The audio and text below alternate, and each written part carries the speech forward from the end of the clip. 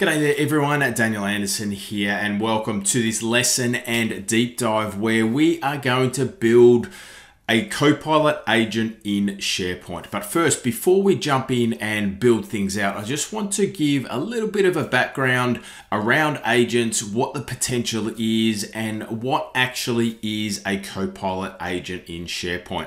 But first, the rise of the agent. As the time of this recording, we are early in 2025 and 2025 proposes to be the year of the agent. Now, according to Gartner, by 2028, 33% of enterprise software apps will include some type of agentic AI up from less than 1% in 2024. Now, I've got a sneaky suspicion that it's going to be quicker than this. I'm already seeing um, companies adopt agentic AI, uh, generative AI, and in turn agents uh, across Microsoft 365 Copilot and inside of SharePoint already um, as we speak.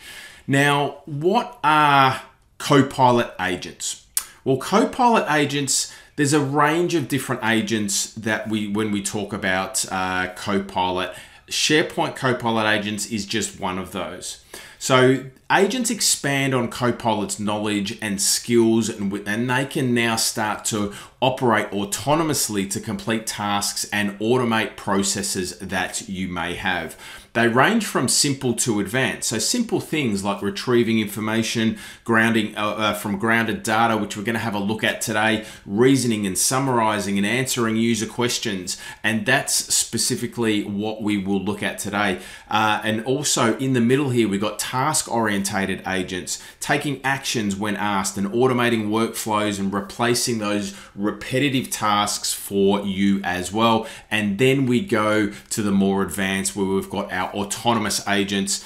They operate independently, they're dynamically, they plan, they orchestrate other agents and learn and they escalate and they rely on some type of trigger and then they can be off and running.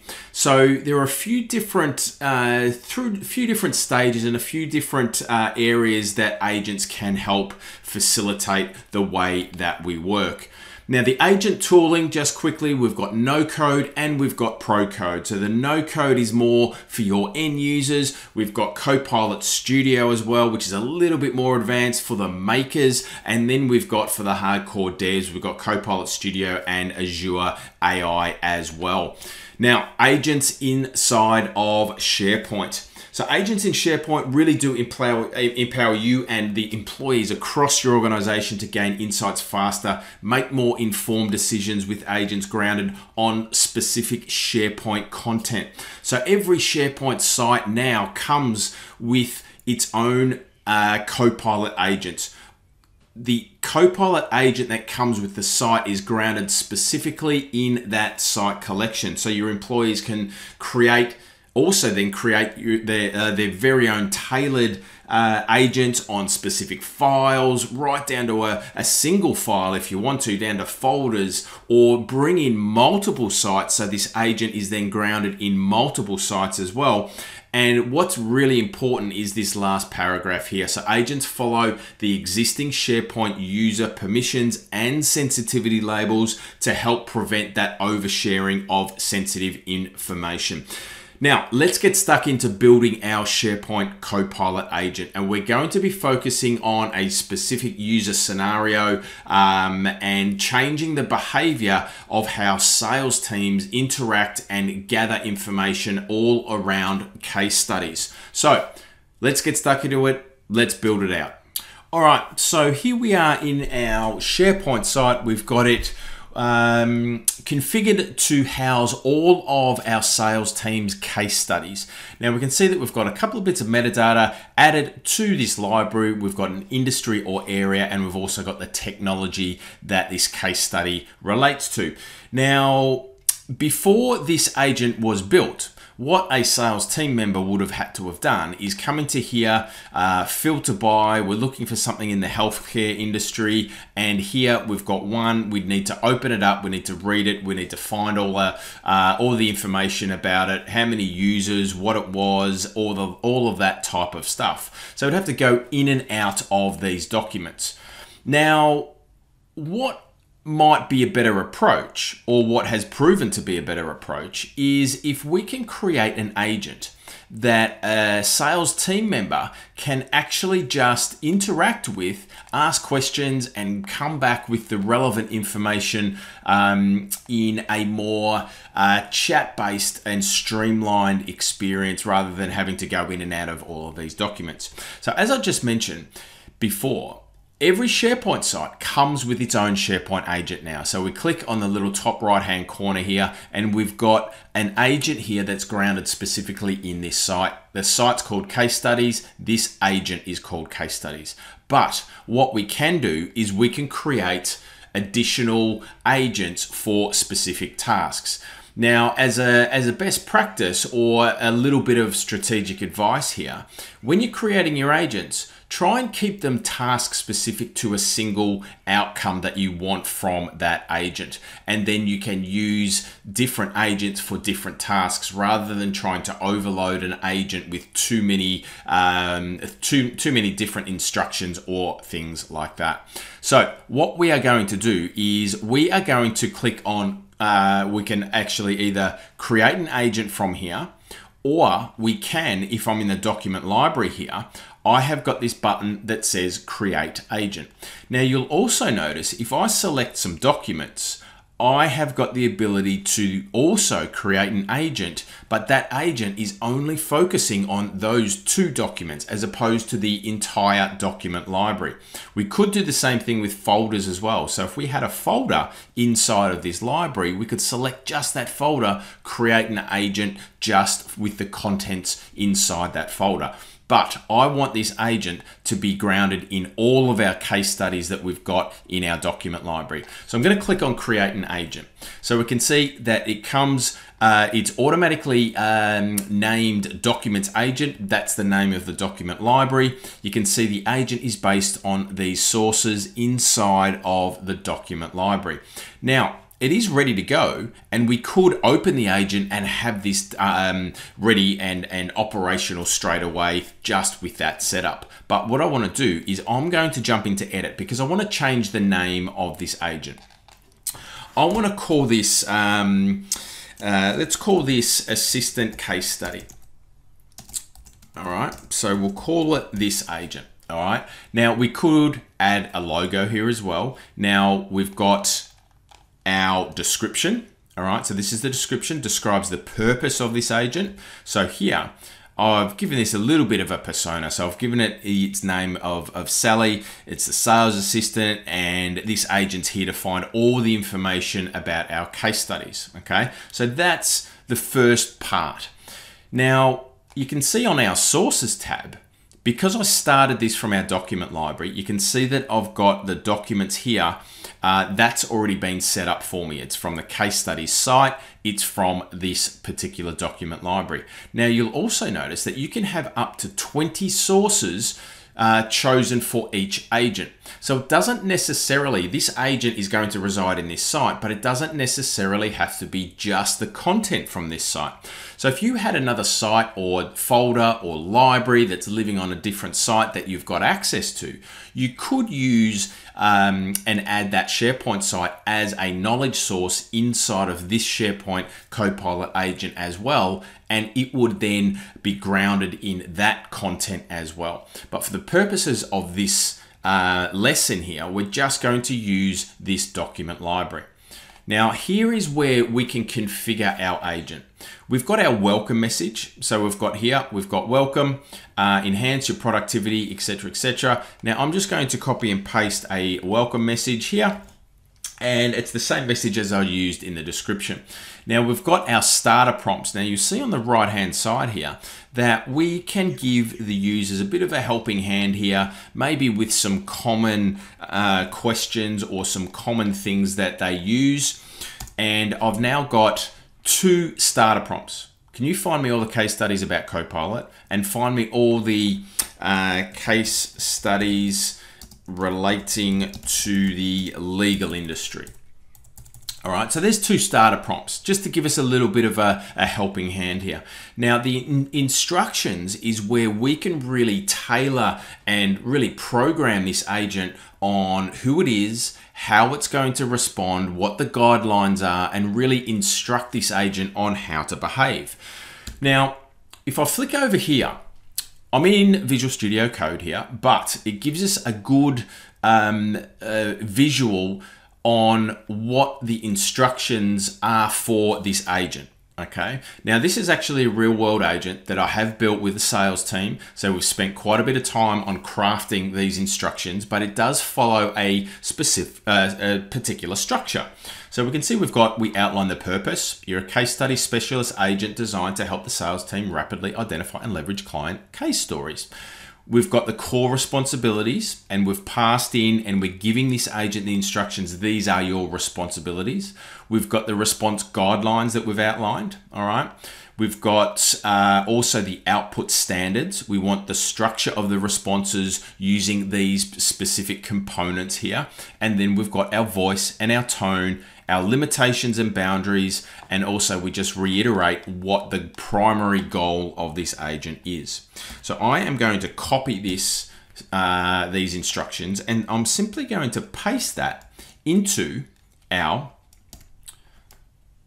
instructions, all right?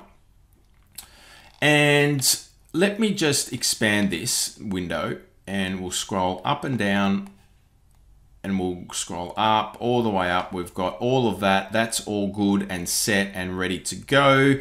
And we could now hit save. We can give it a bit of a test here if we wanted to, but I'm going to hit save and let's jump into the SharePoint UI and start with our starter prompt. So I'm just going to close this down. Now you'll see that it opens up in a window, all right?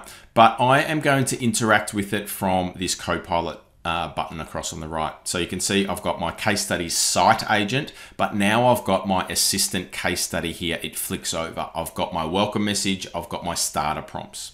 So let's have a look and see what the output is. So we can see here, can you find all the case studies about Copilot? I'm going to hit enter. Let's see what happens. So remembering that this Copilot agent is grounded in just this content, all right? So you can see I've got one, two, three, four, five, six that I've got there for my, um, that mention Copilot or have something to do with Copilot. Now this looks okay, but it's just still text-based. I like a table, right? I've got my, my citations to the actual um, case studies as well, and maybe I want a little bit more information or I want it presented in a different way. We can actually edit this um, agent after we've published it as well. So what I'm going to do here is I'm simply going to come down to um, actually what we'll do is let me flick over to the instructions over here. I'm going to go to the output format using these components. Please uh, present in a table. So I'm going to now copy this. I'm going to come back to my instructions. I'm going to control A, control V. I'm going to hit save. All right. So now that we've saved this agent, I'm going to come back to SharePoint and let's have a look and see what the changes uh, are here. So I'm going to jump into my um, assistant case study assistant here. Can we find all the things about Copilot? And let's have a look and see what the output is. So I'm just going to expand this out a little bit. You can see that now I've instructed it to put it into a table and now I've got my responses in a table that I could potentially now just copy and paste if I wanted to. So I could copy and paste this, copy and paste the output. I've got that output there and I can pop that into an email or something like that that I'm, if I'm responding to a customer.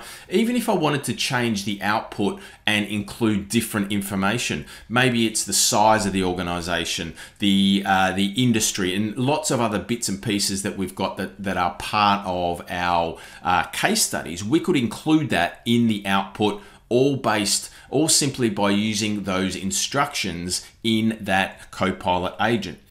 Now, what you will also see here, after we've created our agent, it creates a file inside of this document library. So we can see that because I started this from the document library, it creates the file in the document library as well. Now, when we hop up into the Copilot Agents section up in the top right, we can see that we've got um, approved agents for this site. So if we wanted to make this, uh, I guess, a little bit more authoritative and approve this agent for this site, we can open up the agent and our three little dots here, you can see that we could set this as an approved agent. Now, when I set this as an approved agent, you can see that only site owners can choose to approve agents to be available for site visitors in the agent picker. So if I'm a, an owner of this site, I can set this agent to be approved and then that will become an approved agent for this site. All right, so now when if I just give this a refresh, if I now pop up into the Copilot icon in the top right, go to case studies and the drop down, you can see that I've got that under the approved for this site section. You'll also notice that that agent file has now disappeared out of that document library. But where's it gone? Now, after these agents have been approved, these agents actually get moved to the site assets library. I've got a Copilot folder in the site assets library and I've got an approved folder and there are my approved agents for this particular site.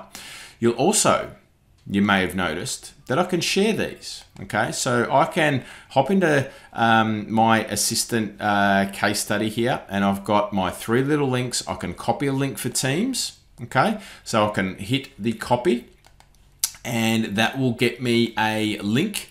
I can paste this link in a Teams group chat to add this agent if I wanted to as well. I've got my settings icon, so only people with existing access or uh, the link works for everybody inside of your organization as well. And if I hit the three little dots, we can edit or we could share this as well. We can also set this as a site default. All right. So by default, well, the default agent is the site specific agent. But if I wanted to make this agent the, the default for the site, I can set this as default okay? Set as default. It's now set. Now if I come back and I'll close I'll just click around a little bit have a bit of a refresh and I'll go back up to my copilot up in the top right hand corner. And rather than the site agent now being the default you can see that the assistant case study is now the default. All right, so a couple of different um, ways in which we can configure these agents as well. All right, so there we go your Copilot agent inside of SharePoint. Hope that gives you that aha moment and um, you know gives you some thoughts around how you could potentially start building and using Copilot agents inside of SharePoint to really change, I guess, change the behavior on how you interact with your data and how you uh, process things and get things done. So I hope that brings you some value today. Uh, Copilot agents inside of SharePoint. Now, if you want more about this content and full courses and lessons, then head over to danielanderson.co forward slash mastery. Come and join like minded people just like yourself. Come and join me where we'll have interactive group coaching sessions, one on one hot seats, and lots of other access to courses and lessons and other material material as well. So head over there, danielanderson.co forward slash mastery, and I would love to see you in that private membership.